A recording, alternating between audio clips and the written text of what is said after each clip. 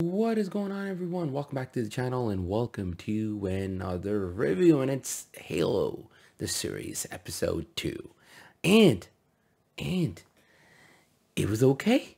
Uh, it did not really improve on the first episode.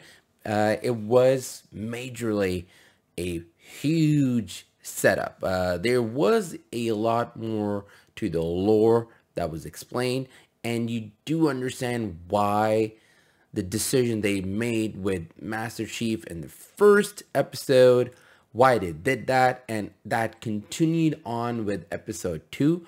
But I do think that this was one of those episodes that went longer than it should have. And at the end of it, you thought that the episode would go somewhere else and you would see an adventure it would go that route. It will take that risk and you'll see that journey. But you don't really get that. Instead, there is basically all of a sudden a reversal and a decision is made. And then it, it kind of goes back to something much more simpler, the easy route. Now that's what it looks like. Again, they can go different ways and build it up again. But the episode, in a way, never touched the highs of what could have been, especially the way episode one ended.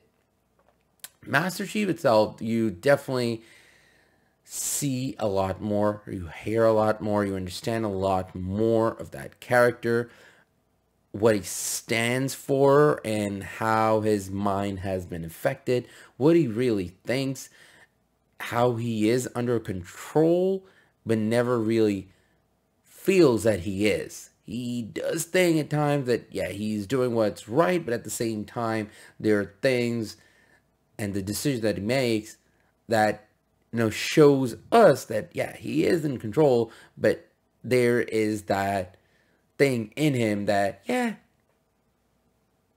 it's okay, you know? So those are like the things that they could have touched on more especially with the way the first episode ending, but it never quite gets there. And for that reason, it just stays afloat. There are good things in there because it's explaining lore. There are new characters that are introduced. Uh, there are elements to the story that are introduced. But there is a whole lot of setup. And again and again, with this war going around and with this distrust you never again feel that. It was the same issue with mm, episode one, and it continues on with episode two.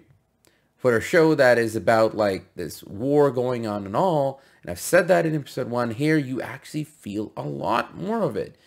You do not see that troubles and the war out there. There's a hint of it, and they show a decision that has been made, but, and it's tragic and you see a bit of it, but that's what I wanted to see more. I wanted to see a lot more of that because that showed how war is really affecting people out there.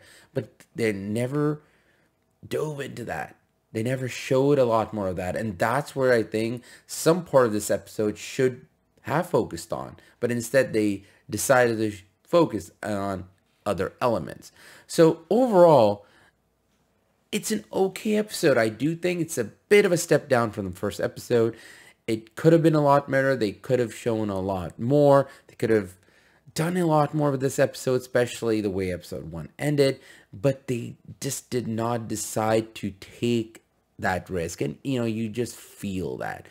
So that's kind of my take on this one. How are you feeling about this series so far? Have you been watching it? Are you excited? What's going on? Are you less excited now? Or you just don't care? Leave a comment below. Let me know. And other than that, I want to say thanks for watching. Thanks for all the support. If you like these casual reviews, there are a whole lot of us on the channel. Please go have a watch. And yeah, take it easy. Take care. And I'll catch you all soon. Until then, ta-da. AK out.